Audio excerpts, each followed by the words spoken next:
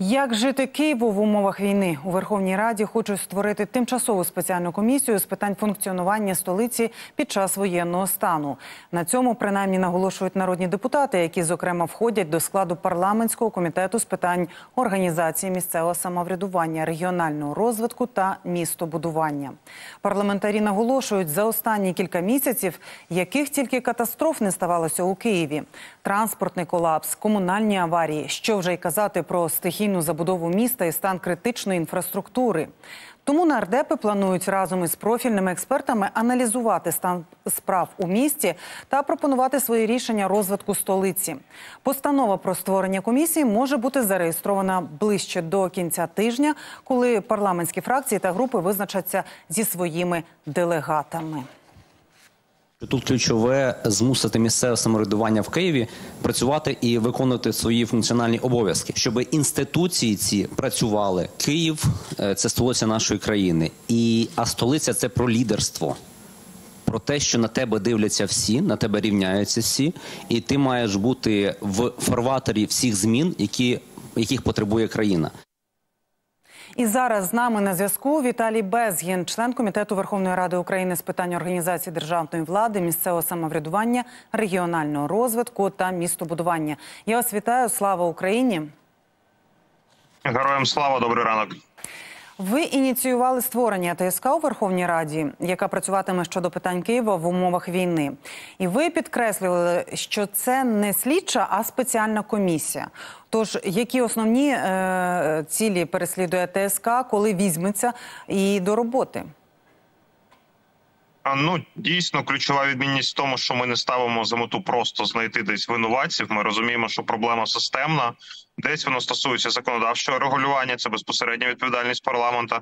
Десь воно дійсно стосується низького рівня управління в місті. А ми розуміємо, що Київ був є і на превеликий жаль буде залишатися так стратегічною метою держави-агресора, е, тому що тут є політичний центр нашої держави.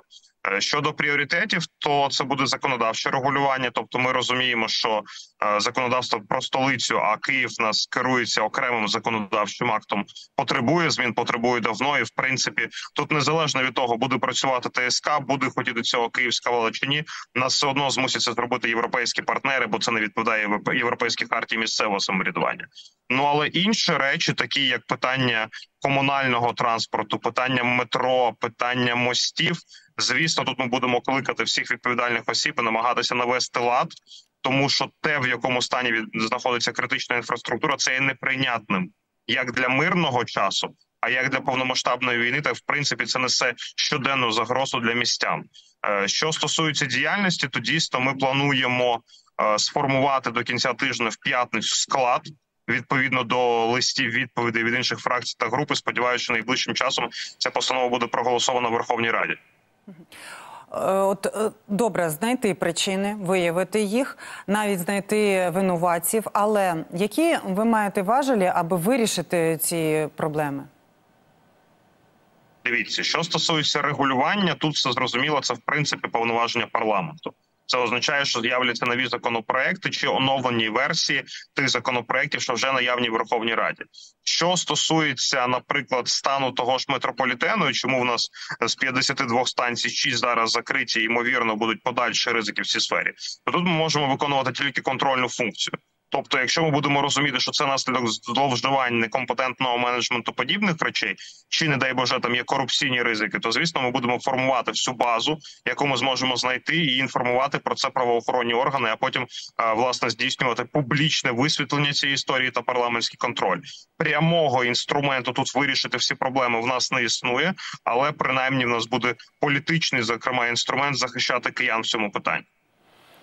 Тоді який далі процес? От ви виявили, ви зосередили увагу е, громадськості на цьому. І якщо це не стосується вашої комісії, але все ж таки процедурно далі що? Е, дивіться, ну давайте візьмемо до прикладу знову ж таки той же метрополітен. Так е, зараз в публічній площині там точиться дискусія, хто винний, хто відповідальний станції відкривалися до 2013 року, тобто за каденції попередньої місцевої влади. Тобто, задача один з'ясувати взагалі обставини і причини Чому так сталося? Задача два з'ясувати, чи були безпосередньо діяльність спрямована на те, щоб здолати відповідні виклики і проблеми. Якщо ми розуміємо і приходимо до висновку, що нічого не робилося, свідомо чи несвідомо, чи якісь рішення місцевої влади спричинили ту аварійну ситуацію, що існує, звісно, це підстава, зокрема до звернення до правоохоронних органів. Саме в такий спосіб ми будемо діяти. Тобто, там, де нема прямого рішення з боку парламенту, це буде звернення до правоохоронців. Але знову ж таки завжди є така soft power, там який важить. Звісно, ми будемо запрошувати на всі наші засідання представників місцевої влади і спонукати їх нарешті зайнятися своїми прямими функціональними обов'язками. Будь-яку ситуацію можна врегулювати в більш простий спосіб з меншою огласкою. Але на превеликий жаль, через те, що наразі це не відбувається, нас не чують. Ми змушені вдаватися до таких інструментів, як ТСК. І До більш глобальної теми пропоную перейти. Це стратегічний захист Києва. Ви самі згадали те, що е, Київ лишається однією з основних цілей росіян. Е, Не лише військові, а й економічні, соціальні аспекти. Чи є вже такий план бачення не на місяць, не на тиждень, а на роки? Як в умовах війни буде жити Київ? Е, Я тут не буду перебільшувати, якщо скажу, що Київ врятували навколишні громади під час наступу росіян, під час навали безпосередньо в лютому і навесні 22-го року. Тобто неформалізована київська агломерація з таких громад, як Ірпінь, Буча, Гостомель, фактично вони понесли жертву, рятуючи столицю України. Е, що, стосується моделей управління, в нас є моделювання. Я кажу тут про парламент, кажу про офіс президента щодо того, як може функціонувати київська агломерація щодо моделей, щодо безпосередньо її економічної складової, щодо питання безпекової, щодо маятникової міграції. Це ми говоримо про те, що півмільйони громадян в нас фактично щоденно вони приїжджають в Київ на роботу і потім повертаються в свої домівки в передмісті, і про те, як це буде ставати точкою економічного зростання в регіоні. Ми зараз готуємо в тому числі і законопроект про агломерації. Це така повна системна комплексна робота. Зокрема, з європейськими партнерами ми ведемо діалог про те, як залучати під проекти саме в київське передмістя, зокрема інвестиції. Бо ми розуміємо, що ще однією важливою складовою обороноздатності, крім захисних споруд, є питання залучення прямих інвестицій з боку заходу, щоб він захищав зокрема своїх інвесторів. І що це дасть? Який результат на що ви сподіваєтесь? Дивіться, більш системний розвиток і зменшення проблем поточних. Е, Давайте, от знову ж таки, на прикладі агломерації. Є умовна буча. Уявимо, що з бучі порядка там, е, наприклад, 10 тисяч мешканців щоденно їздять в Київ. Е, Що треба для того, щоб у, у, зменшити питання, наприклад, заторів і корків, які кожного дня є на в'їзді і на виїзді в Київ? По-перше, треба будувати нормальні перехоплюючі паркінги, щоб людина могла до межі міста Києва дістатися своїм приватним транспортом, залишити там машину, спокійно пересяти на громадський транспорт і доїхати до свого місця функціонування. Крім того, іншим вирішенням подібних питань це стосується не тільки передмістя і самого Києва. Це є потреба створення робочих місць безпосередньо в місці проживання громадян. Це зменшить сам такий елемент, як маятникова міграція, і крім того, це зменшує злочинність. Давайте подивимось на спальні райони, як Оболонь, чи навіть на лівий берег. Е, Там майже немає робочих місць, тому мешканці цих територій змушені щодня приїжджати в Печерський, Подільський, Шевченківський райони банально на роботу через те, що громадський транспорт фактично не працює або він не покриває потреби киян. Це постійні затори, не функціонування.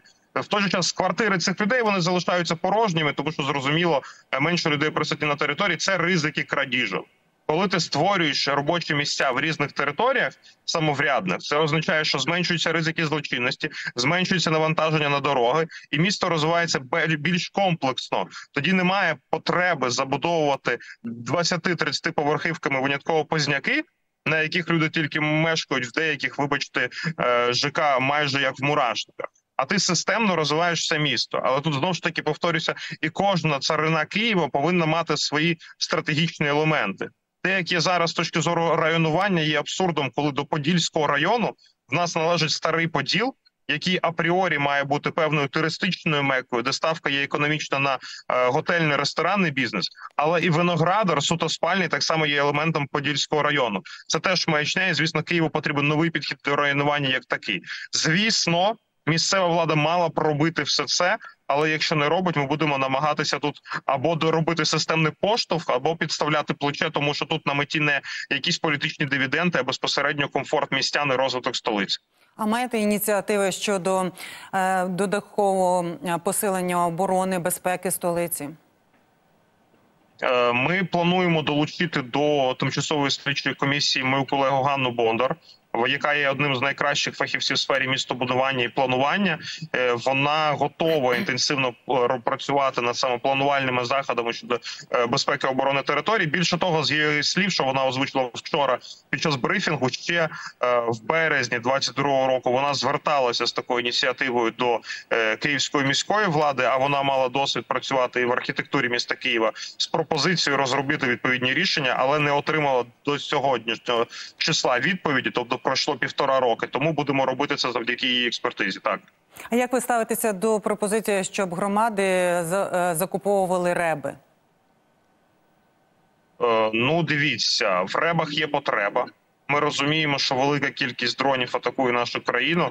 Е, Зараз там всі ми, в тому числі волонтеримо, до мене особисто зверталися минулого тижня один з нових батальйонів, що формується, що буде займатися безпосередньо ребами.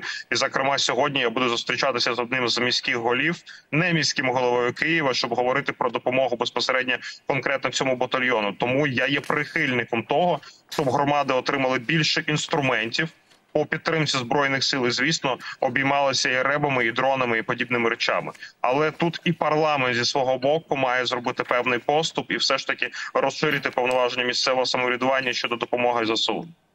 Пане Віталію, е, дякую за розмову за те, що в ранковий час до нас доєдналися. Це був Віталій Безгін, член комітету Верховної Ради з питань організації державної влади, місцевого самоврядування, регіонального розвитку та містобудування.